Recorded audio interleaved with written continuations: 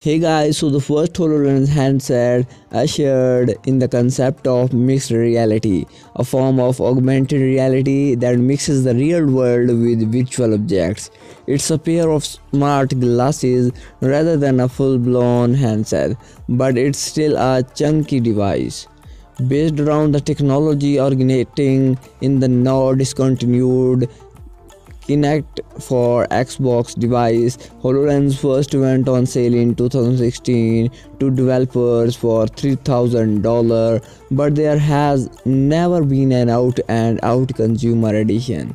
Consequently, HoloLens has stayed more of commercial than a consumer device. But with others like Oculus and HTC Vive releasing more consumer focused VR handsets, could the time be for HoloLens to also target a bigger audience.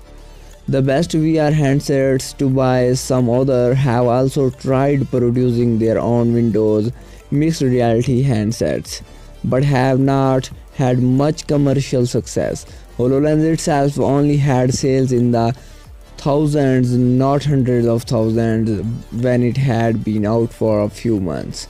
It now looks like Microsoft is close to launching a second version of the handset that will be more natural looking and will be based on improved hardware. It looks very much like Microsoft will be bringing HoloLens to, to Mobile World Congress in February. This is pretty surprising.